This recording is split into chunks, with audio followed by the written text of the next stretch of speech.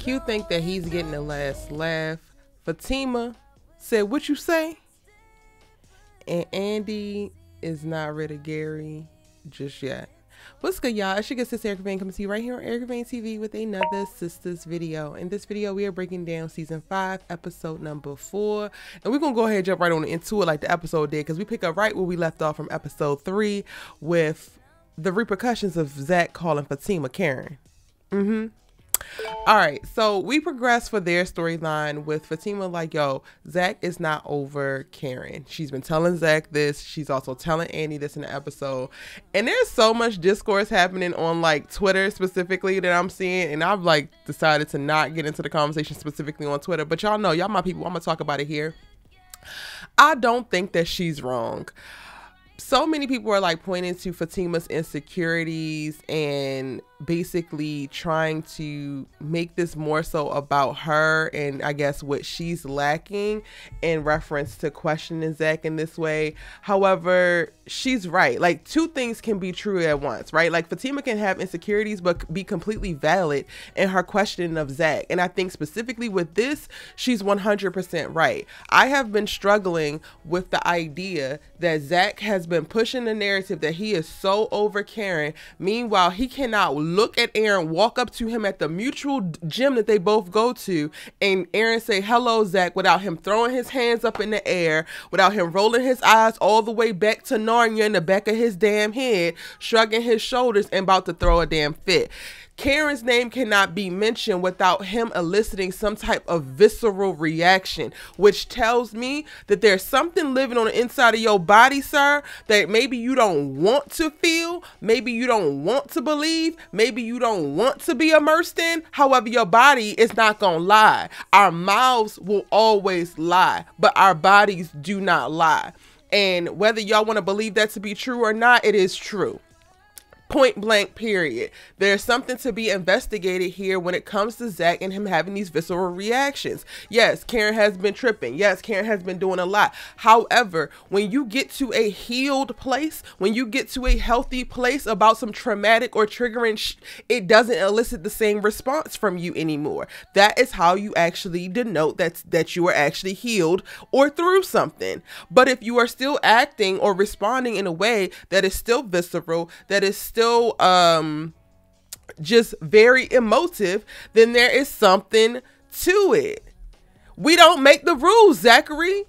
And for me, I would much rather him take the time that he needs to really investigate and reflect on why he does the things that he does versus trying to fight and deny it as if niggas are like blind and cannot see plain as day that something is there. Yes, you might not want Karen back at this moment in time. Yes, you might see the value in Fatima and who she is, what this relationship is, and what this relationship has done for you. A hundred percent yes, you might possibly really deeply love Fatima and want to marry her in this moment. And you might also still have yet to release your full feelings for Karen. Again, two things can be true simultaneously. And for me, Zac just reaffirms how immature he is in the fact that he can't just be a man and have that conversation with himself. Not even saying that he got to have that conversation with Fatima, but like have that conversation with yourself. Because while you hooting and hollering and throwing your hands up and rolling your eyes and getting annoyed, you're also not unpacking and dealing with the real sh- at hand. All of that is all distraction mechanisms for you to not actually sit with your actual feelings and get down to the nitty gritty. It's performative and we're over it. We have seen it now for four seasons and we're done.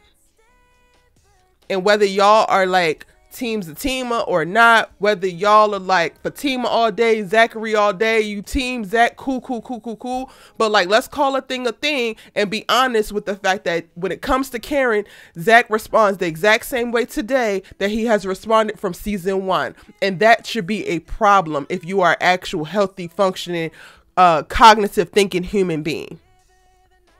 Okay.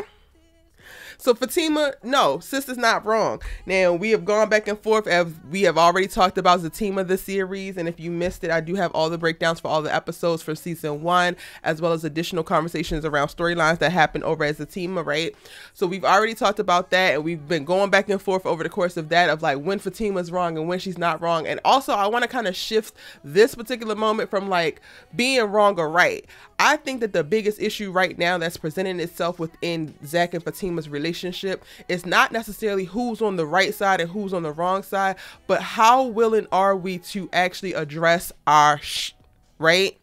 I think that we saw Fatima take steps at the at the like sight of Ian, the reintroduction of Ian back into her life and that conflict, which is pretty much all the drama that she brought into the relationship or what she has on her end. She literally did what she had to do, had conversations, had reflections, like took time to sit with her feelings and do everything that she needed to do to deal with her stuff. We have yet to see Zac fully deal with his stuff. I'm still struggling with how he responds to Deja because I think that he is entirely too nice.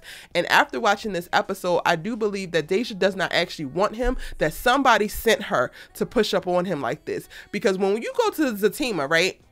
and you go to the party scene where Zac is pissed about Ian and he runs off to go hang out with the boys because Fatima ain't tell him and he crying and wah wah wah wah wah cool cool cool. They actually make eyes at each other. She's dancing at the party because she's stripping. Cool, cool, cool. Zac gets drunk, and then when Bryce finds him, she's actually sitting on his lap. But and I talked about this in the breakdown for that particular video. I felt like she was doing that more so as like a new friend. Um, this is my landlord and I'm trying to protect him. So I don't think that she was pushing up on him in that way. I feel like she was like occupying him so that none of the other strippers that was there, none of the other girls that was there would interfere or do anything. Like you literally get to hear her say like, yes, please take him home. I'm glad that somebody's to make sure that he's to be okay. He's safe. I'm working cool, cool, cool. And that's the energy that she has. So to see this big shift, especially like towards the end of Zatima season one, and then now her introduction into the sistas universe and seeing her at the gym and her being so persistent and pushing up on Zac, there to me has to be another motive, and it's not just so that she don't have to pay rent.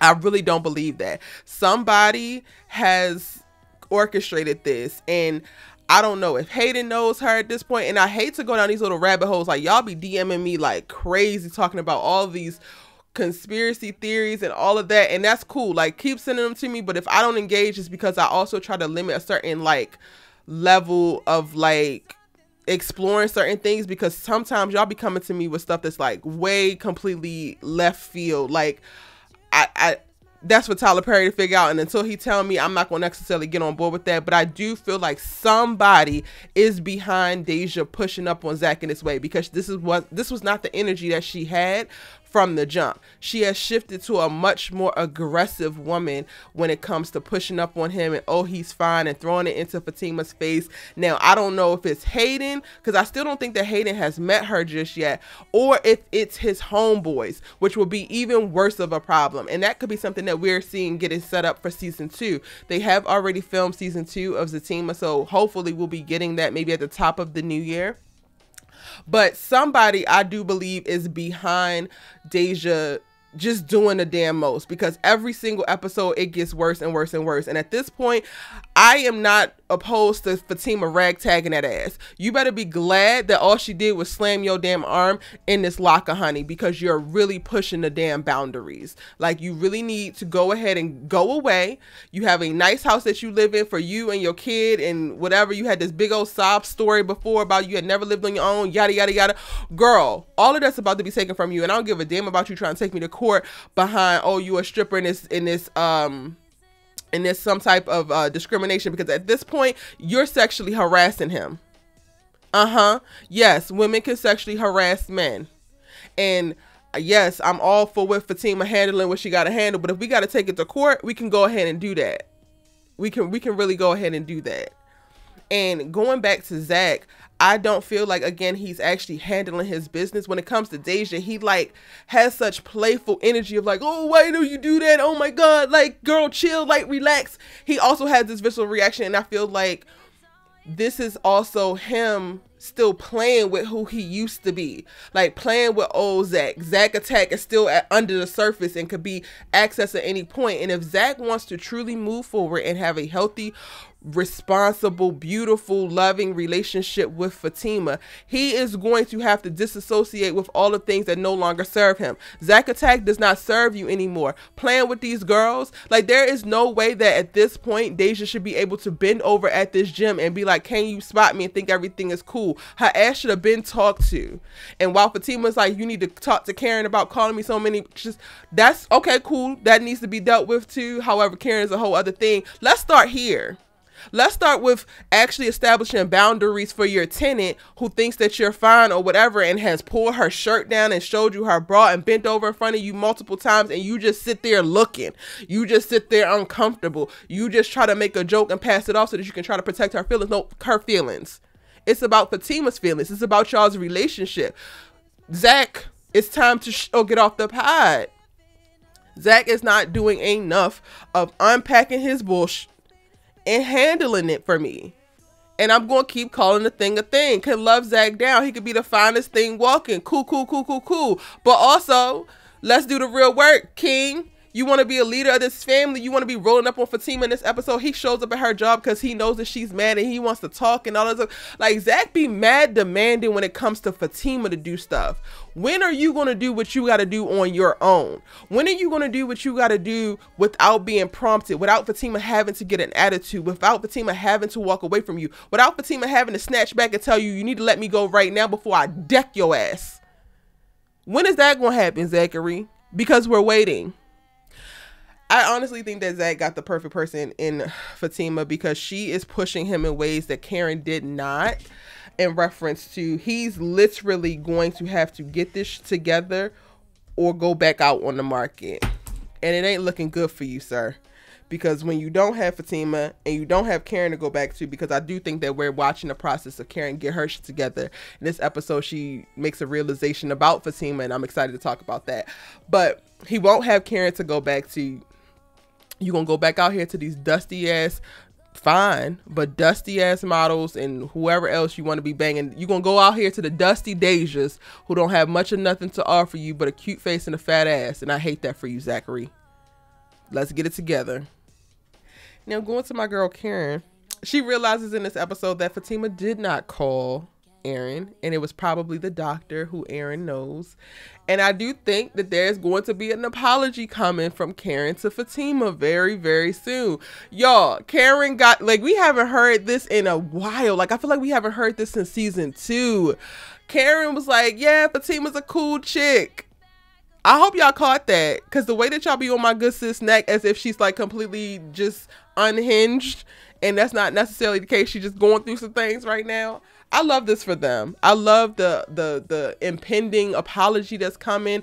I love that Fatima's actually going to forgive her and realize that that Karen is not actually her enemy. Her problem is really going to be Zach and his feelings and him being able to get to the to the to the core and the root of all of it, right? Um, I am looking forward to the day that Karen and Fatima are actually friends my God, I cannot wait for it. I am just going to smile from ear to ear watching when Tyler Perry finally graced us with that day. In this episode, Karen is still on bed rest. She's supposed to be on bed rest for the next week, so we're going to see her at this at her apartment for quite a while. Mama Lisa's already hard at work like, let me go ahead and clean up my daughter's mess. She done call Aaron. She done call Zac. Both of them are coming at 8 p.m. tonight. I don't think that we're going to see that next episode, but I do think that that's going to be in episode six. So that's going to, like, um, it's going to drag out just a little bit, but we're going to have more than enough next week's episode with the introduction of Madam. So I ain't even stressed about it. But I'm really looking forward to Miss Lisa bringing everybody to the table to have just an open and honest conversation and like say what it is, say what it ain't. I love how, you know, she basically reminded Karen to like speak now or forever hold your damn peace, honey, because this is not something that's going to be able to continue to just drag out for the rest of your damn life. Everybody needs to move on. I love that she has Karen writing these letters. Like I just think that and I'm I'm trying to also like temper my expectations, y'all, because I'm really getting excited about this potentially amazing dialogue that we're about to see from these grown ass people. But I also don't want to put too much on it because I don't want Tyler Perry to break my damn heart. But I am really looking forward to this round table of the hearts that's about to go down at Karen's house. Okay. Now, um, Andi, child, they gonna make me talk about Andi and Gary if it's the last thing that they do apparently Gary showed up and he's going to Robin as a man. We don't get to see it in this episode, but it's alluded to because Hayden comes over and he's like talking sh- and all that yada yada yada. Um he's like yeah, he's in his office, blah blah blah blah blah. Cool. I hate this for me. me only. What are you doing? Like, Gary, what the hell? You know what? I talked about that in the preview video, so I'm not going to go into Gary actually being in office because we didn't see that in this episode.